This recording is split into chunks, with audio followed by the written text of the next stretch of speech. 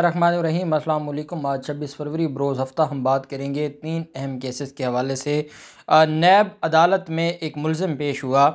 बड़ा मुलम है बड़ा सीनियर अफसर है जिसको सिर्फ़ तीन सौ पचास तोला सोना उसकी सास ने आ, सोना जो है वो तोहफे में दिया और उसके अलावा जो नैब ने अदालत में उसके ख़िलाफ़ इंकशाफात किए हैं और अदालत में जो उसके ख़िलाफ़ रेफरेंस फ़ाइल किया गया है अगर ये बड़े अफसर की करप्शन की दास्तान ये है तो फिर आप अंदाज़ा लगा सकते हैं कि जरदारी ख़ानदान और शरीफ ख़ानदान ने कितना आ, कुछ लूटा होगा और फिर मरीम नवाज़ जिसकी सास होंगी या जहाँ बख्तावर जरदारी की शादी होगी, वहाँ पर कितने सौ किलो सोना दिया गया होगा और ये कौन लोग हैं जो आज भी पाकिस्तान में मौजूद हैं और पाकिस्तान को लूट रहे हैं? बड़ी अहम तफसीत हैं और ये ऐसे इनकशाफात हैं कि जो मैं समझता हूँ नैब ने जो अदालत के सामने रखे हैं, इसको सुनने के बाद हर सुनने वाला शख्स कान ज़रूर पकड़ेगा।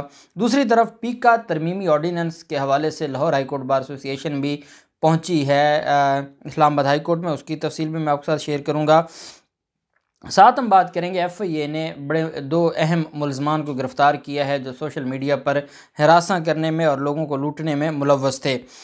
पहले हम बात कर लेते हैं जो एफ़ आई ए का कारनामा है। मैं कारनामा इस वजह से कहूँगा कि एफ़ आई ए कार्रवाइयाँ ज़रूर कर रहा है और एफ़ आई ए को ये कार्रवाइयाँ करनी चाहिए। चाहे इस्लामाबाद हाई कोर्ट बुला बुला के इनके डायरेक्टर्स को जलील करे और उसके बाद फिर पूरा मीडिया उस एक एक रिमार्क्स को उठा उठा के एक इदारे के डायरेक्टर के ख़िलाफ़ इस्तेमाल करे और अदालतें चाहे आ, आ, उनका राइट बनता है और वो रिमार्क्स दे सकती हैं लेकिन जब रिमार्क्स ओपन अदालत में दिए जाते हैं तो वो फिर जज का और वहाँ खड़े अफसर का मामला नहीं रहता, वो फिर मामला बन जाता है, पब्लिक का आवाम का, और मीडिया फिर अपने ख़ास अंदाज में उसको बयान करता है।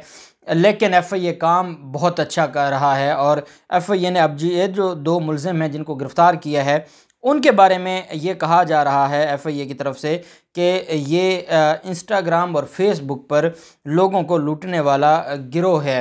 एफ़ आई ए के मुताबिक ग्रोह खूबरू लड़की, खूबसूरत लड़की बनकर पाकिस्तानी शहरीों से दोस्ती करते हैं, फिर व्हाट्सएप नंबर मांगते हैं, उनसे बातचीत करते हैं, उसके बाद उन्हें लाखों डॉलर पाकिस्तान में उनके, उसके पास भिजवाने के बहाने लाखों रुपए वसूल करते हैं।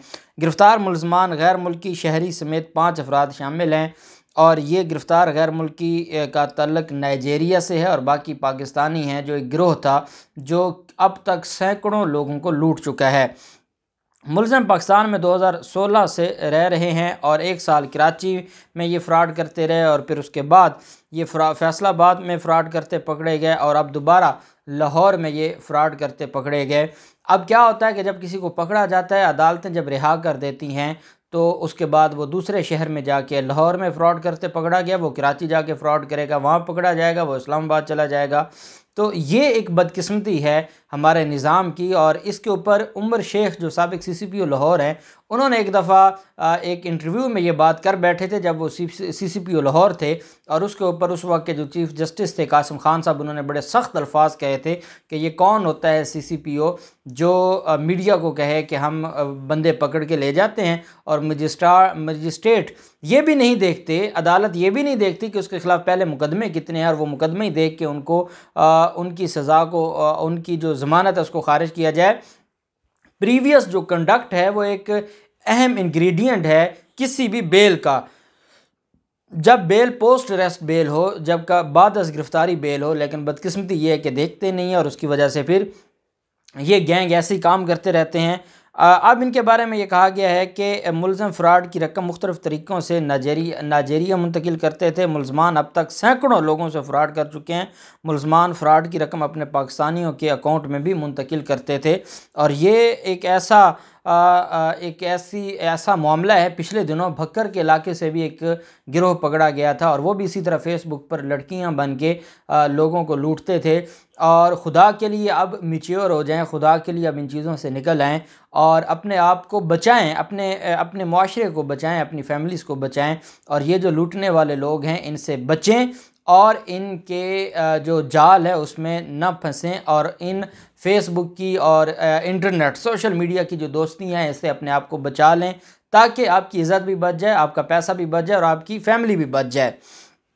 दूसरी तरफ़ जो मामला है और ये है पीका तरमीमी ऑर्डीनेंस के ख़िलाफ़ Lahore high court bar association ने इस्लामाबाद हाई कोर्ट में दरख्वास्त दायर की है। अब मज़े की बात यह है कि Lahore high court bar association के जो सदर हैं, मकसूद भुट्टर साहब, उन्होंने अपना जिस दिन अहदा ख़त्म हो रहा था, आज 26 फरवरी को नया इलेक्शन हुआ है और नए सदर मुंतखब हो गए हैं। इसी तरह नए नायब सदर, नए सेक्रेटरी सेक्रेटरी भी हमारे भाई राय उस्मान साहब मुंतखब हुए हैं। तो नई सारी की सारी काबीना आ गई है। जब काबीना नई आ गई है तो 25 फरवरी को मकसूद बुटर साहब, जो कि अहमद ख़ान साहब ग्रुप के सदर थे, लाहौर हाईकोर्ट बार एसोसिएशन के पूरा साल वो सदर है तो उनका दरख्वास्त देना लाहौर हाईकोर्ट बार एसोसिएशन की तरफ़ से वो जाते जाते लाहौर हाईकोर्ट बार को इस्तेमाल कर गए सहाफ़ियों के लिए, और वो इस वजह से कि वो आइंदा सहाफ़ियों के साथ उनके मामला बेहतर रहेंगे। अपने जो उनका टिन्योर था, वो मुकम्मल होने से एक दिन पहले वो ये दरख्वास्त दायर करके गए हैं इस्लामाबाद हाई कोर्ट में और लाहौर हाई कोर्ट के सदर मकसूद भुट्टर की तरफ़ से ये दरख्वास्त दायर की गई है और इसमें इस्लामाबाद हाई कोर्ट से ये कहा गया है, अब वो सदर हैं Lahore high court bar association के तो आप दरख्वास्त दायर करें। लाहौर हाई कोर्ट में आप इस्लामाबाद हाई कोर्ट में सिर्फ़ अतर मिनल्ला साहब को देख के दरख्वास्तें दायर करनी है क्योंकि हमारे यहाँ एक आ, आ, लोग ये समझने लगे हैं कि सहाफ़ियों की आज़ादी सहाफ़त पर अगर किसी ने रिलीफ़ देना है तो वो अतर मिनल्ला साहब थे। आज किसी दोस्त ने मुझसे सवाल भी पूछा है, एक और वीडियो वायरल हुई है, एक नाम नहाद सहाफ़ी है और वो वज़ी अजम इमरान खान की वाइफ के हवाले से जो जुमले कह रहा है, जो वो लफ्ज़ कह रहा है, वो कोई भी, हर कोई माओ बहनों वाला है, कोई भी नहीं बर्दाश्त कर सकता। तो वो मुझे कहते हैं कि क्या इसके ख़िलाफ़ भी जो अदालतें वो कुछ नहीं कहेंगी। उन्होंने कहा, एक अल्लाह ना करे ऐसा कभी मामला हो कि अगर किसी अदालती निज़ाम में से किसी बंदे की वाइफ के बारे में या उनकी फ़ैमिली के बारे में कोई ऐसी बात करेगा तो क्या वहाँ भी यही आज़ादी सहाफ़त होगी? तो मैंने कहा, यार जो अल्लाह ना करे कोई ऐसा मामला हो, क्योंकि जो ख़वान हैं मैं, बहनें, वो सबकी साझी होती हैं और चाहे वो कोई कर्नल की बीवी हो चाहे वो जज की बीवी हो, चाहे वो किसी एमएनए की बीवी हो, जो जो पॉलिटिकल नहीं हैं, जो पब्लिक ऑफ़िस होल्डर नहीं हैं तो सब महफूज रहें और कोई किसी के ख़िलाफ़ बात ना करे। देखिए ना, अब मुझे अगर तकलीफ़ है किसी जर्नल से तो मैं जर्नल की बीवी की तरफ़ क्यों जाऊँगा? मेरी जहाँ जिसके साथ है, मैं उसके साथ रहूँ। मैं मैं अगर किसी एमएनए के ख़िलाफ़ बात करता हूँ तो उसकी बीवी बच्चों के ख़िलाफ़ क्यों बात करूँ? जब तक उनके ख़िलाफ़ कोई केस ना हो तो ये चीज़ें हैं बदकिस्मती से। अब ये मामला भी वो ले गए अतर मिनल्ला साहब के पास इस्लामाबाद हाई कोर्ट में। लाहौर हाई कोर्ट बार के सदर की जानब से दायर दरख्वास्त में सदर पाकिस्तान को सेक्ट इतलात को और काबीना डिवीज़न को फरीक बनाया गया है और दरख्वास्त में यह मौक़ अपनाया गया है कि आर्टिकल 19 की खिलाफ वर्जी है, उन्नीस ए की खिलाफ वर्जी है और इस पीका ऑर्डीनेंस को हर हाल में कलदम करार दिया जाए ये दरख्वास्त दायर की गई है। Lahore high court bar association के सदर की तरफ़ से आखिरी दिन अपने टिन्योर के अहदे के उन्होंने ये दरख्वास्त दायर की। सबक डिप्टी एंटी सबक डायरेक्टर एंटी करप्शन के आ, उनके खिलाफ आमदन से ज़्यादा असासा बनाने के बनाने की नैब इंक्वायरी से मुतल अदालत में जमा करवाई गई जो रिपोर्ट है उसमें हैरान कन इंकशाफात सामने आए हैं। दौरान समात सबक डायरेक्टर एंटी करप्शन की जायदादों के हवाले से, जो तफसीलात हैं वो देख कर सवाल खड़ा होता है कि इतनी जायदादें और इतनी रकम वो कहाँ से आई? नैब ने पेश रफ्त रिपोर्ट अदालत के सामने पेश की। नैब के मुताबिक मुलम रफ़ीक कुरेशी उन्नीस सौ छियानवे में मुख्तार कार भर्ती हुआ था। सिंध हुकूमत में सिंध सरकार ने मुख्तार कार उसको भर्ती किया। मुख्तार कार भर्ती होने के बाद रफ़ीक कुरैशी इस दौरान अहम अहदों पर तैनात रहा। नैब ने अदालत को बताया कि Rafiq Qureshi Rafiq Qureshi deputy secretary staff, DC Badin, जनूबी और डायरेक्टर एंटी करप्शन के अहदे पर रहा है। इस दौरान मुलम ने करोड़ों रुपए के असासे बनाए। नायब रिपोर्ट में यह कहा गया कि मुलम ने डिफेंस में फ़ेज़ आठ ख़ियाबान गालिब में अस्सी मिलियन रुपए की प्रॉपर्टी ख़रीदी। मुलम की तमाम जायदादें मिलाकर भी इतनी रकम नहीं बनती है। मुलम ने साढ़े तीन सौ से जायद तोला सोना भी ख़रीद रखा है। नैब इंक्वायरी रिपोर्ट में बताया गया कि जब मुलिम से जब ये सवाल पूछा गया कि ये साढ़े साढ़े तीन सौ तोला सोना आपके पास कहाँ से आ गया तो मुलिम कहते हैं कि उसकी सास ने ये सोना बतौर तोहफ़ा दिया था। क्लिफ्टन ब्लॉक दो में मुलम की मलकियत में एक फ़्लैट भी है। मुलिम ने डी एच ए फ़ेज़ आठ में एक प्लाट ख़रीद रखा है।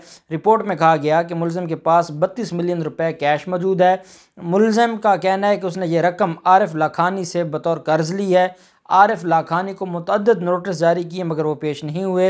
नैब ने इस्तः की कि मुलम की जायदाद उसकी आमदन से जायद है।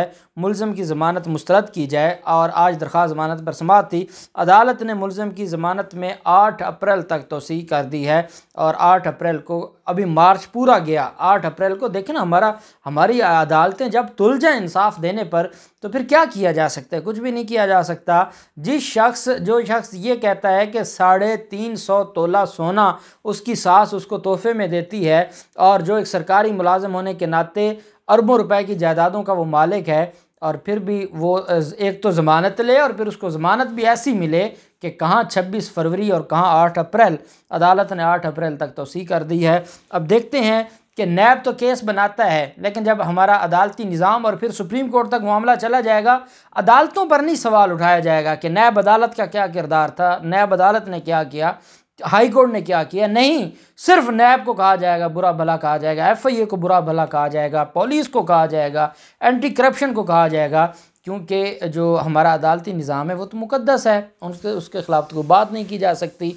और सारे कानून अगर कोई किसी को गाली देता है, कुछ करता है, वो सारे के सारे जाएँ डेफामेशन के तहत दीवानी दावे फ़ाइल करें, वो जाएँ और जिसको तकलीफ़ है, ख़ातून है, उसके साथ कोई बदतमीज़ी या उसके गैर अखलाक़ी को वीडियो बनाता है और उसके बारे में गैर अखलाक़ी जुमले कहता है, कोई वीडियो बना के तो उसके पास कोई हक नहीं है कि वो जाए एफ़ के पास, वो जाए, सिविल सूट फ़ाइल करे और उसमें वो बेचारी खुद भी जाए, अपनी एविडेंस दे एविडेंस में उनका वकील तरह तरह के सवाल पूछे और वो वहाँ से कहे कि मुझे माफ़ी दे दें, मैं इंसाफ नहीं लेती, मैं वापस जा रही हूँ, जो इज़्ज़त बच गई है, वो तो ना ना, मैं अदालत में दे के जाऊँ। ये निज़ाम है अगर तो इस निज़ाम के ऊपर मैं बतौर कानून का तालब इम तो क्या कह सकता हूँ? रोना आता है हमारे निज़ाम पर। अल्लाह करे कि हमारे मुल्क का निज़ाम बेहतर हो जाए।